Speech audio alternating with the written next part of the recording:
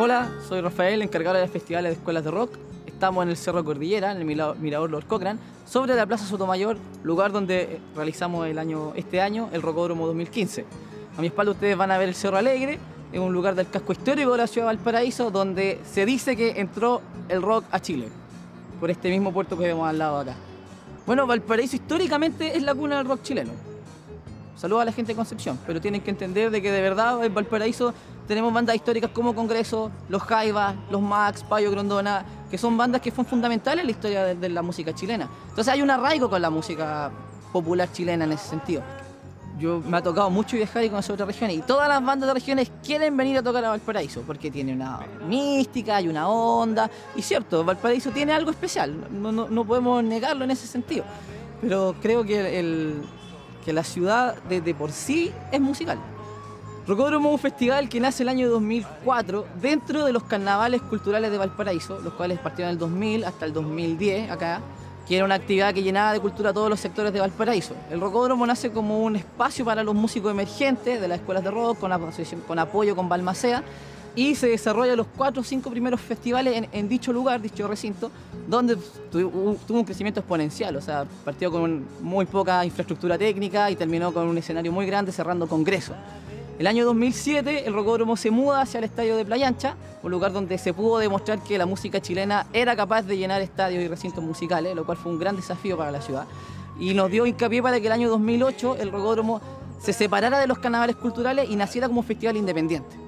A contar desde ese momento, el Rocódromo empieza a tomarse la ciudad del paraíso como un escenario, es decir, empezamos a intervenir dicho espacio. Nace La Noche en los Balcones, que es una intervención musical donde tres solistas de características folk cantan desde los balcones hacia Valparaíso, una especie de serenata inversa, algo muy único, por decirlo de una manera, y técnicamente muy complejo. Y comenzamos a hacer música sobre el mar, que fue un evento como más llamativo del Rocódromo de esa época, que fue el Muelle Barón, donde por distintas historias tuvimos el escenario mirando hacia los cerros y después mirando hacia el mar, o sea, lo tuvimos que dar vuelta por, porque vino el terremoto y un montón de otras cosas que pasaron también.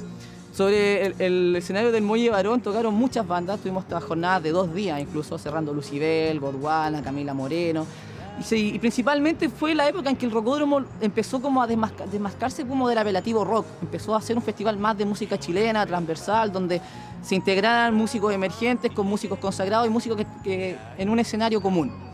El año 2014 el Rocódromo sale del, del Muelle Barón, sigue anoche los balcones con actividad en el Teatro Municipal y exposiciones y nos vamos a la plaza, al Parque Italia, que es una plaza emblemática, una plaza que tiene mucha historia, una plaza donde todas las protestas finalizan en ese lugar, entonces también fue como un rocódromo complejo porque era un lugar como muy estigmatizado para que al fin este año, después de 11 años, el rocódromo se mudara hacia la Plaza Sotomayor, que es el lugar donde creo que no se va a cambiar más. Esperemos que así sea.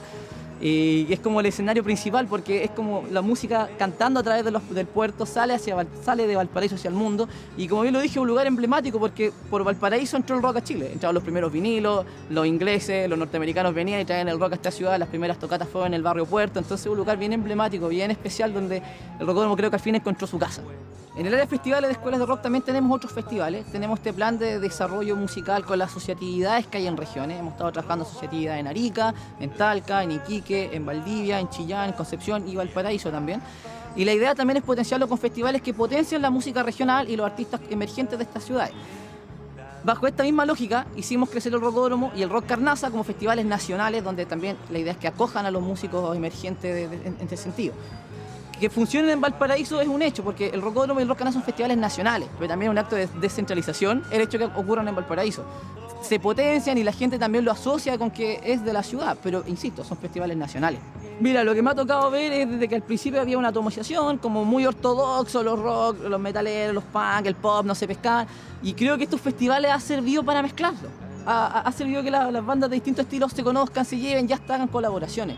Y creo que eso también responde un poco a la tónica actual de Chile, de que ya no estamos separados por segmentos, sino como somos todos músicos y estamos todos remando por el mismo lado. Y eso responde más que nada al último tiempo, creo yo. Que de verdad las bandas han comenzado a agruparse, se han comenzado a hacer sesiones de música en regiones. Tenemos a Soma, tenemos Abra, tenemos Massa en Santiago, tenemos la MIP en Valparaíso. Y eso también ha servido para que los festivales crezcan. Yo recuerdo los primeros festivales, había otra infraestructura técnica, habían consolas digitales, habían consolas análogas y ahora hay consolas digitales. Lo mismo pasa con las bandas, las bandas vienen a los festivales, participan de los procesos formativos, hacemos clases también de producción y cómo pararse en el escenario para que también las escenas crezcan. Si las escenas crecen, la música chilena va a seguir creciendo en ese sentido.